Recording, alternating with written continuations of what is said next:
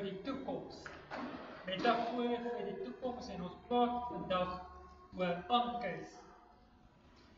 En ons gaan saam lees uit die Bybel uit uit Hebreërs 6 vers 18 tot 20. Hebreërs 6 vers 18 tot 20 wat die volgende sê.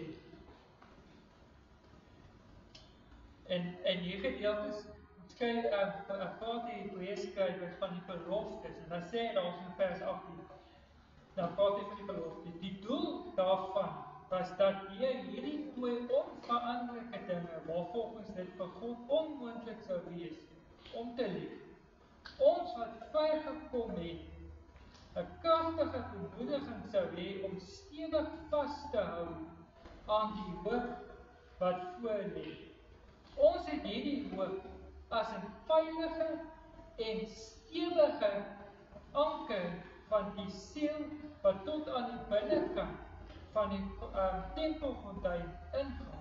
Dit is waar Jesus ons voorloper ter wille van ons ingegaan het en hoogpriester vir ewig geword het volgens die orde van Melchisedek.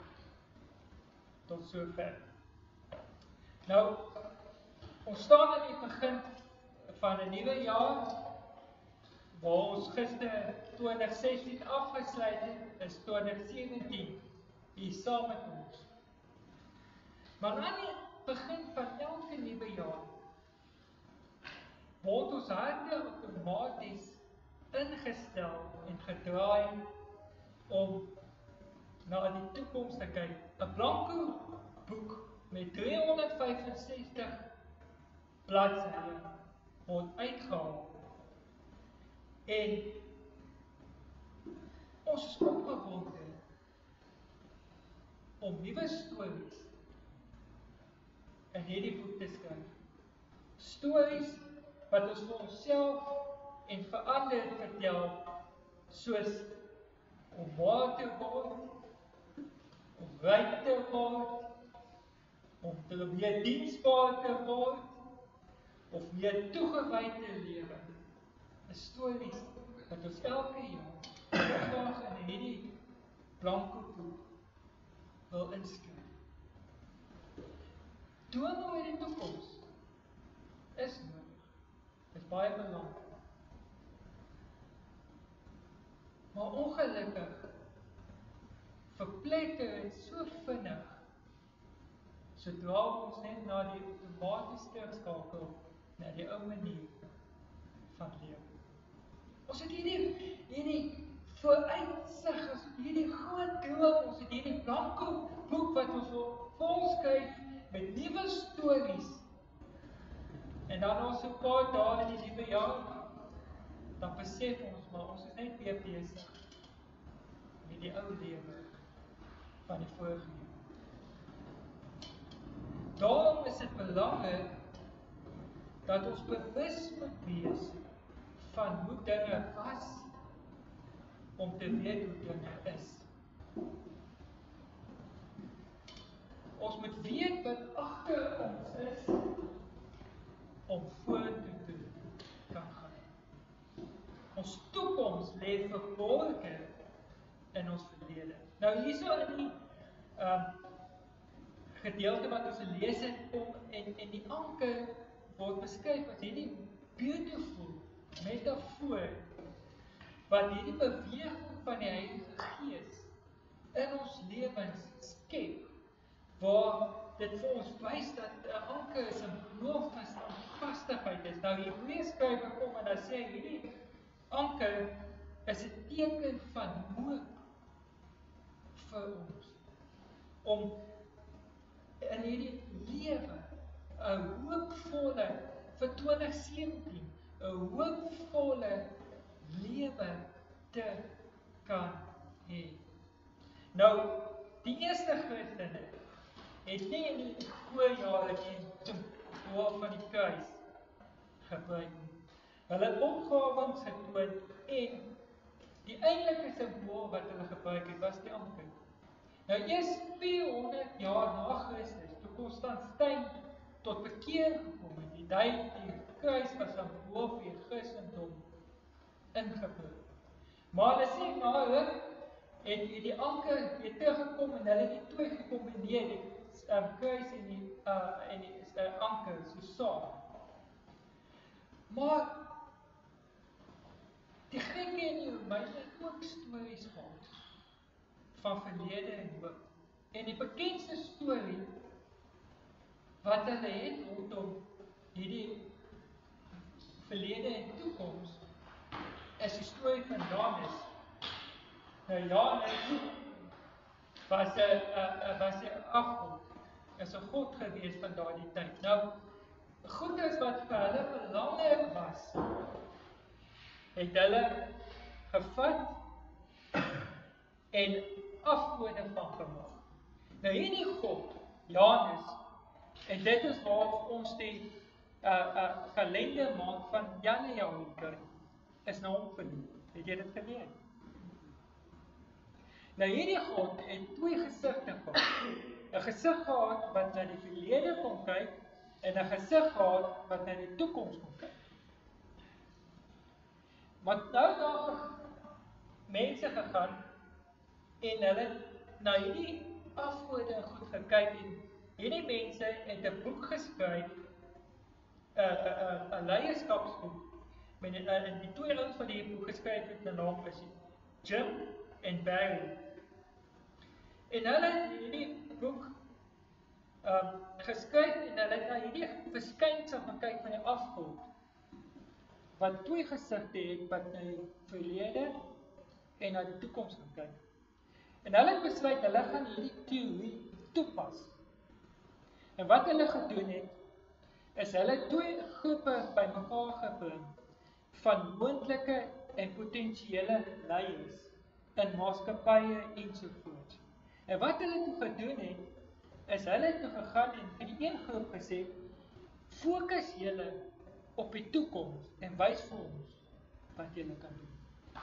Die ander groep het hulle gesê delf eers in in die verlede en kyk wat in die verlede gebeur het en dan bring sekere toepassings vir julle toekoms in. En die uitslag daarvan is die mense wat teruggekyk het in die verlede was meer effektief om sekere beplanning, toepassings en en en rigting daar te stel wat meer suksesvol in hulle leierskap teorie en ontwikkeling was.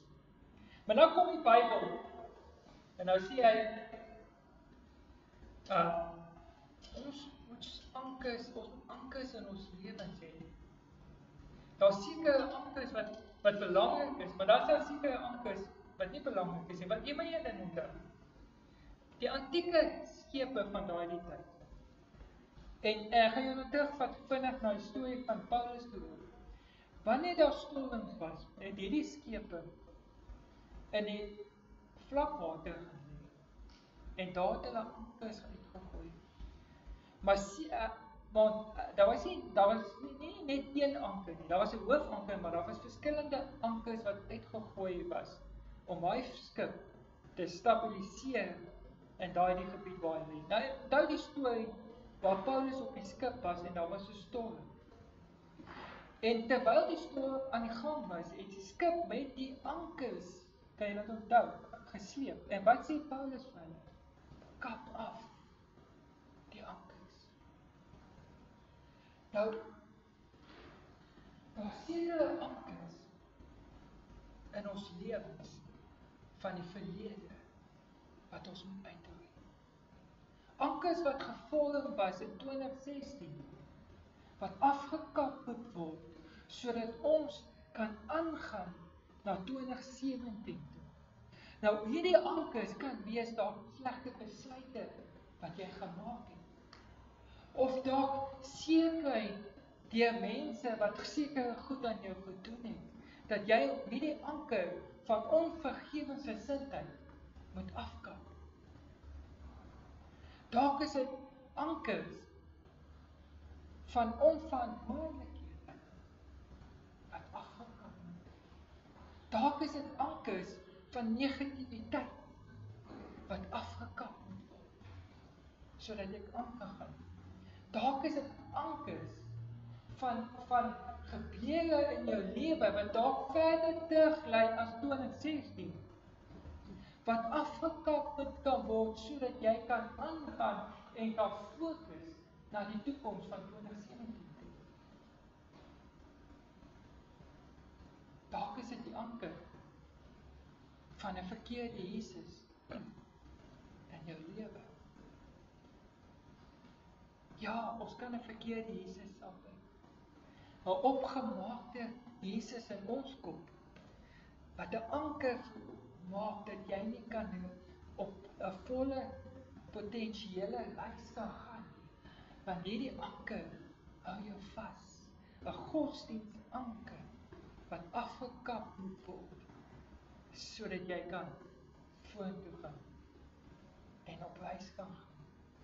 Wat jy sien al het jy die beste ankers uit is ankers baie keer ook of baie keer jy's in die antieke tyd nadelig vir jou wanneer daar 'n storm boei. Maar daar was een anker. Die hoofanker wat geanker moes word sodat daai skip ehm um, julle wat bote ken en julle wat nou nie bote ken. As altyd 'n anker wat uitgegooi moet word wat jou vashou en jou hy hy hy hy dry jou saam met die stoom. Soos wat die stoom dan verby jou gaan, hou daai anker jou vas. En ek wil noem een anker wat geanker moet bly. Wat in hierdie geskrifgedeelte vir ons sê, en dit is Jesus Christus. Die regte Jesus Christus, die hoëpriester wat vir ons vooruitgegaan het sê Hebreëskrywer wat vir ons die hoop gee, die hoop vir 2017, die hoop vir die toekoms. Nie oor dit wat die politiek vir ons sê of die ekonomie vir ons sê of wie ook al vir ons vooruitspel nie, maar oor omdat ons hoop Jesus Christus is, sodat wanneer daar wat ook al se storms in 2017 na my en jou toe kan kom en sal kom, want ons is nie gevry waarvan storms nie. Nêrens in die Bybel word ons gevrybaar van storms nie. Maar ons word verseker van 'n anker. En as ons geanker is vir 2017 met die regte anker, kan daar maar wat ook al so storm kom, jy sal veilig wees deur die storm. Maar is jou anker die regte anker? van 2017. Is jy verseker en dis hoekom ek hierdie liedjies wat sing. Is jy verseker dat jy staan vastig is? Is jy op die regte fondament gebou? Is jy op die woord van God? Is die anker in ons lewens dat wat ook al mense vir jou sê of teenoor ook al jy doen, wat ook al die omstandighede met jou wil rondspeel, as jy standvastig is met die regte anker, sal hierdie goed jou nie beweeg wil afsluit. Wat se nee, wat se verkeerde ankers in jou lewe van 2016 afgekap word. Sodat jy die een ware anker in jou lewe kan sien. Dis my boodskap vandag. En ek wil vir jou 'n smooth journey toewens vir 2017. Maar ek kan dit nie doen nie as jy nie die regte anker antwoord het nie. Ek wil afsluit. En ek wil jou nooi om ons nagmaal gaan gebruik. En ek gee jy met dit vat. Net seker is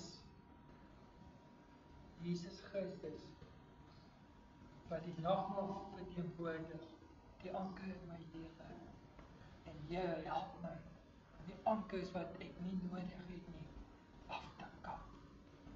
gee vir my die byl in die hand sodat ek dit kan afloop sodat ek in 2017 kan ingaan op die regte journey kan invaar. Ja, baie dankie. Dat ons 2017 kan ingaan.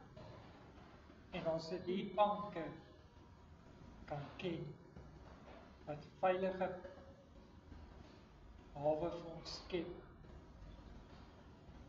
Wat ons anker hou in storms wat ook al by ons pad kom Here dat ons weet U daar is vir ons wil ek vir elkeen bid vir 2017 Here dat U vir hulle sal seën en dat die genade vrede van God in 2017 hulle beskore sal wees.